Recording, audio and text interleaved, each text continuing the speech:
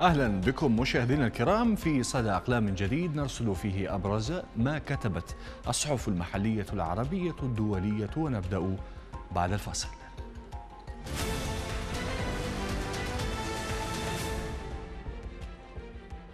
أهلا بكم البداية من صحيفة القدس العربي ومقال للكاتب صادق الطائي تحت عنوان أهل القضية آخر تجليات الحركات المهدوية في العراق.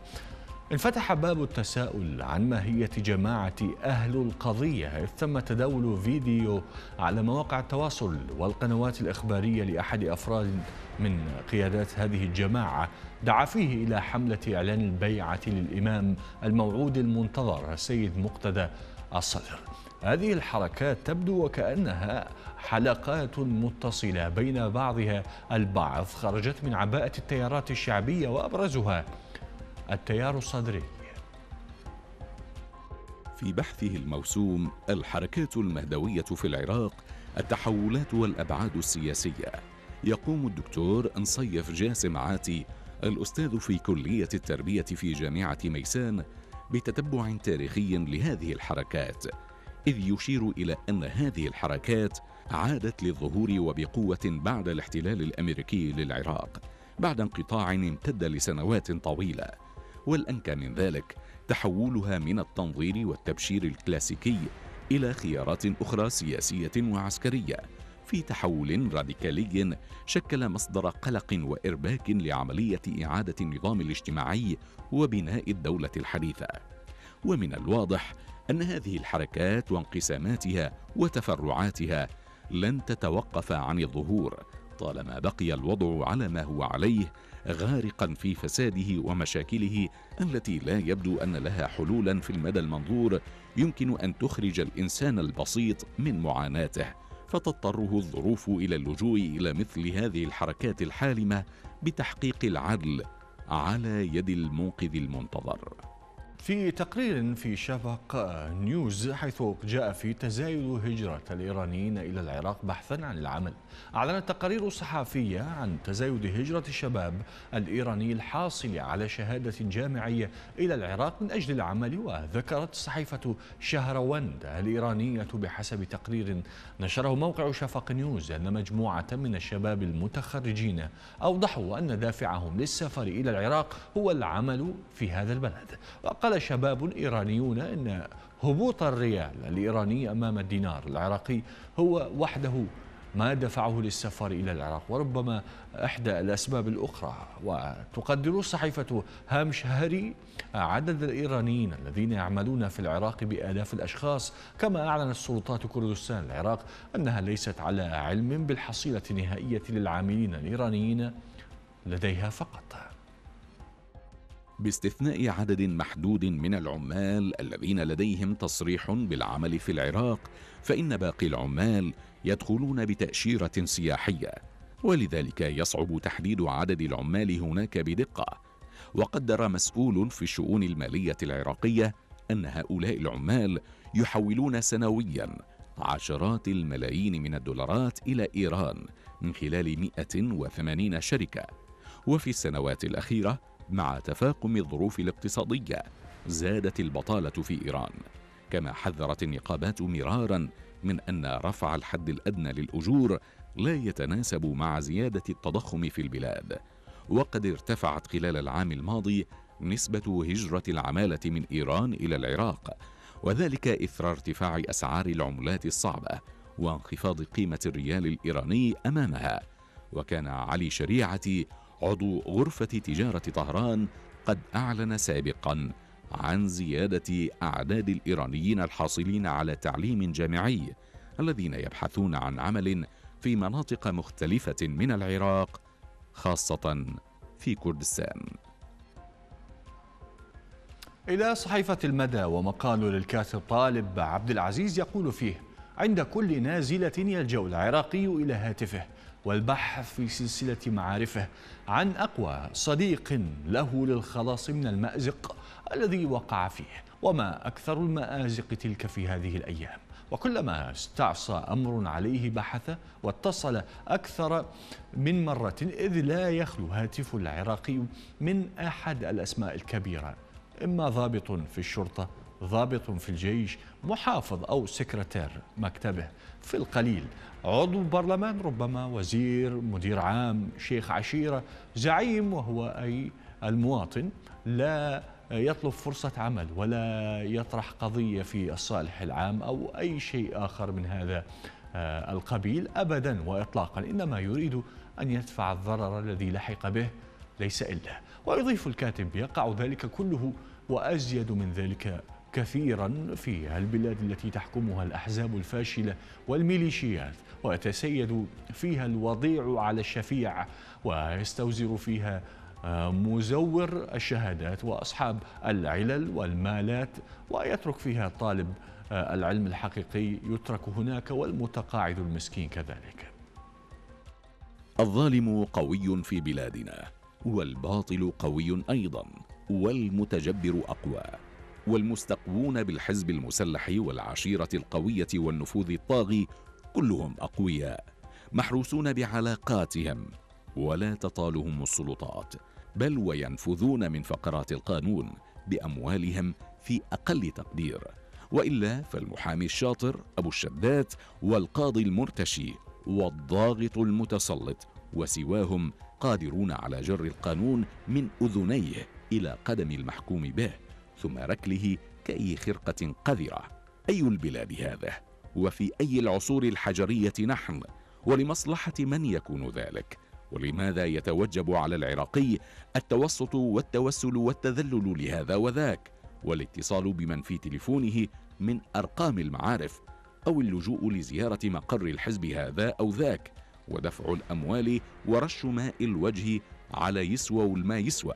أكل ذلك من أجل حصوله على حقه المنصوص عليه بالقانون أما إذا أخطأ وتلقفه القانون فالويل له إن لم يكن يملك في هاتفه رقم أحد من هؤلاء.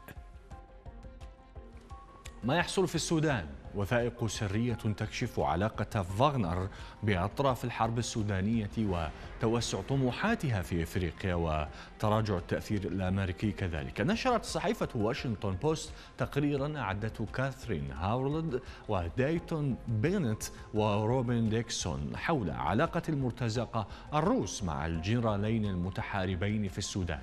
وقالوا إن شركة فاغنر سيئة الصيت وداعميها سيخسرون الكثير. لو دعموا الطرف الخاسر على الطرف الآخر. فعلى مدى السنوات الماضية أقامت مجموعة فاغنر للتعهدات العسكرية علاقات قريبة مع قوات الأمن السودانية وحاولت استغلال هذه الصلات لدعم المصالح العسكرية والاقتصادية والأمنية الروسية بما فيها امتيازات التنقيب عن الذهب المثمرة جدا وصفقات السلاح. في داخل السودان قدمت فاغنر في الماضي المعدات والتدريب للقوى الأمنية. ونصحت قادة الحكومة وقامت بعمليات تضليل إعلامي بحسب وثائق مسربة اطلعت عليها واشنطن بوست إلا أن اندلاع العنف بين الجنرالين المتنافسين وضع الكرملين وداعمي الشركة أمام معضلة لأنهم سيخسرون الكثير لو دعموا الطرف الخاسر وحتى جلسوا متفرجين. فإن انهيار السودان سيمثل نكسة لهم وعلى المحك تحالف قوي بين دولتين على تناقض مع الغرب والذي لم يثمر فقط فرصا تجارية وصفقات أسلحة بل وقاعدة عسكرية بحرية على البحر الأحمر. فاغنر تقدر علاقاتها مع الدعم السريع لتأمين طريق عبر السودان لمراكز الشركة اللوجستية في ليبيا والتي تربط الشرق الأوسط وأوروبا بمسرح معاركها في مالي وجمهورية إفريقيا الوسطى. إلا أن تقديم الدعم لقوات حميتي قد يكون بثمن باهظ لفاغنر وحفتر. بحسب الوثائق فقد نجحت فاغنر بإنشاء كونفدرالية من الدول المعادية للغرب في إفريقيا. في وقت يقوم فيه مرتزقتها بإثارة عدم الاستقرار واستخدام القوى شبه العسكرية. وقدرات التضليل الإعلامي لتقوية حلفاء موسكو. نشرت صحيفة الجارديان تقريرا حول فضيحة سرقة بيوت السوريين والتي يقوم بها آه، من خلالها محتالون باستخدام المحاكم من أجل شرعنة السرقة من اللاجئين. وتحدثت تقارير كثيرة عن شراكة بين قوات بشار الأسد في شبكة لتجريد المنفيين من ممتلكاتهم الخاصة وسلبهم من أي شيء ليعودوا إليه. وقالت الصحيفة إن عبد الله 31 عاما اكتشف عبر مكالمة هاتفية أن بيته قد سرق وصودر منه وكان عليه الهرب من بيته في سوريا في عام 2012 بعد حملة القمع الواسعة التي قامت بها قوات الأمن ضد الناشطين المعادين للحكومة والنظام. الوثيقة المزورة هي واحدة من التي تستخدمها شبكة فاسدة تستفيد من الفوضى التي تعيشها سوريا منذ 12 عاما ومحاولة تجريد اللاجئين من ممتلكاتهم. وفي تحقيق مشترك مع الوحدة السورية للصحافة الاستقصائية سراج والمنظمة غير الربحية. اليوم التالي تحدثت الجارديان مع الضحايا والمصادر القانونية الذين قالوا إن السرقات هي عائق أمام عودة اللاجئين إلى بلادهم. وقال عبد الله أعيش كلاجئ في تركيا ولا أعرف إن كان النظام سيسقط يوما. وكيف سأعود إلى سوريا؟ وأين سأعيش حين ذاك؟ فهل سأكون قادرا على استعادة بيتي أم لا؟ وأضاف سرقة بيتي هي خسارة كل شيء وهذا ما ورثته من والدي الذي مات في أقبية مخابرات سلاح الجو بعد اعتقاله سنة 2013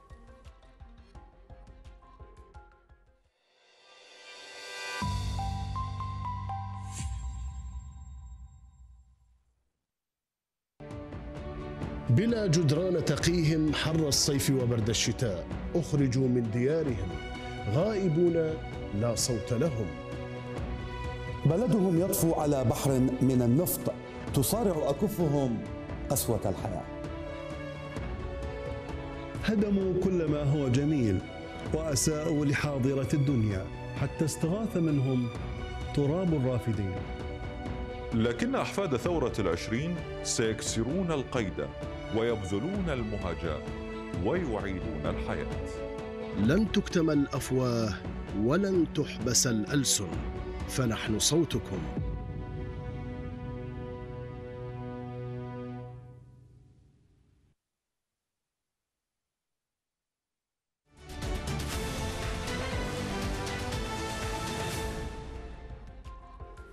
هذه الحلقة مستمرة لكن بعد الكاريكاتور.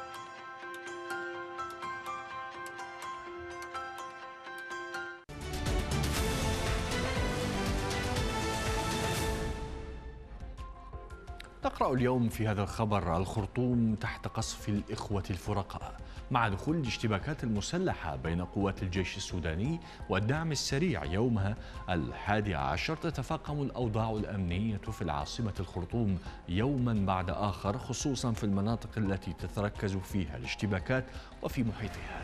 وفي مؤشر على طول أمد المواجهات بدأت عملية لإجلاء الرعايا الأجانب في حين بات الأمن من الخوف والجوع والعطش هاجس المدنيين السودانيين المغلوب على أمرهم في كل مناطق السودان الذين يعيشون حالة حظر تجول إجباري عليهم. وتزداد المعاناة يوما بعد آخر بما ينذر بخروج الأوضاع المعيشية عن السيطرة مع شح الغذاء وانقطاع الكهرباء ومياه الشرب واختفاء معظم السلع الغذائية من المتاجر والأسواق التي أغلق معظمها هناك.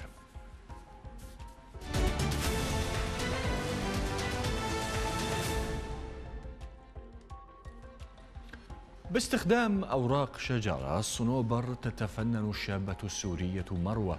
أبو خليل في صناعة السلال بإحدى المناطق الجبلية في لبنان بعدما اكتشفت أن العودة إلى أحضان الطبيعة هو الخيار الأنسب للحياة حيث بدأت قصة مروة مع هذه الحرفة قبل خمس سنوات تماما عندما قررت مروة ترك حياة المدنية والمدينة والسكن في منطقة عالية ريفية في شرق العاصمة بيروت التي تتميز بكثافة أشجار الصنوبر وسرعان ما وجدت في أوراق هذه الأشجار طريقها نحو الإبداع والفن. ولاحقا كمصدر رزق كذلك.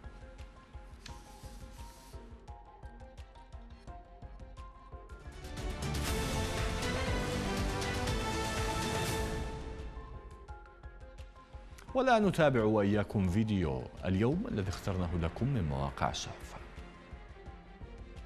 حرب شوارع وعمليات كر وفر وسط أصوات الرصاص والقذائف المدفعية في أزمة سياسية أدخلت السودان في منعرج خطير. فما الذي يحدث؟ وما أسباب الخلاف؟ اشتباكات عنيفة. من خلافات سياسية إلى مواجهة عسكرية. هذا ما حدث في السودان بعد اندلاع اشتباكات عنيفة في العاصمة الخرطوم وفي مناطق أخرى استراتيجية بين الجيش بقيادة رئيس مجلس السيادة الانتقالي عبد الفتاح البرهان وقوات الدعم السريع بقيادة نائب البرهان محمد حمدان ديغلو والملقب بحميدتي وذلك باستخدام مختلف أنواع الأسلحة وفي مناطق مأهولة إضافة لقصف عنيف واندلاع حرائق متفرقة في الشوارع ما أدى لسقوط أكثر من مئة قتيل إذ يحاول كل من الجيش وقوات الدعم السريع إحكام السيطرة على المناطق الاستراتيجية الرئيسية وسط تبادل الطرفين الاتهامات حول من بدأ بالهجوم إضافة لتضارب البيانات الصادرة من كلاهما حول الأوضاع الأمنية وللتنويه فإن قوات الدعم السريع هي قوات شبه عسكرية تدار من قبل جهاز الأمن والمخابرات الوطنية سبب الخلاف. فشل برهان وحميتي في التوصل لتفاهم حول بعض بنود الاتفاق الإطاري الذي تم التوقيع عليه أواخر العام الماضي. بين المكون العسكري ومختلف القوى المدنية والذي ينص على تدشين مرحلة انتقال سياسي يقودها مدنيون وتعد نقطة الخلاف الرئيسية مسألة دمج قوات الدعم السريع في الجيش وهو بند نصت عليه وثيقة الاتفاق إذ يقترح الجيش أن تكتمل عملية الدمج خلال عامين. فيما ترى قوات الدعم السريع أن العملية تستغرق عشر سنوات على الأقل ما أدى لتأجيل التوقيع النهائي أكثر من مرة. على هذا الاتفاق الذي جاء بعد احتجاجات واسعة دامت لأشهر طالب فيها السودانيون بحكم مدني بعد الانقلاب العسكري على الرئيس عمر البشير عام 2019 فبرأيك إلى ماذا ستؤول الأوضاع في السودان؟